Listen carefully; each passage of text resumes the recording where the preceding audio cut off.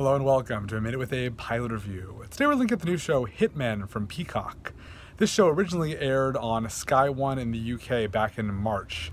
Uh, and it follows two women uh, who are hitmen uh, and sometimes struggle with uh, executing their targets uh, quite as smoothly as they're supposed to.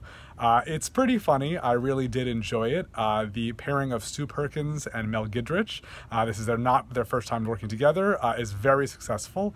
they're really a lot of fun together. It's also great to see um, some strong guest stars and recurring players in the form of Nick Mohammed from Intelligence and Ted Lasso, Jason Watkins from The Crown and a Very English Scandal, Sian Clifford from Fleabag and Quiz.